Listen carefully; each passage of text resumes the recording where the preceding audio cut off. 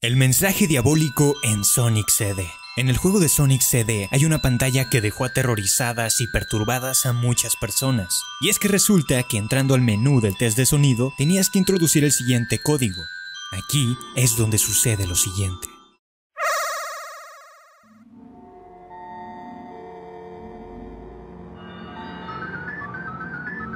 Una canción perturbadora con risas de fondo y Sonics con caras deformadas, acompañadas con unas letras en japonés que traducidas al español significaban La diversión es infinita con Sega. De aquí salieron varias leyendas. Unas dicen que la firma decía Majin, una palabra en japonés que traducida significa diablo.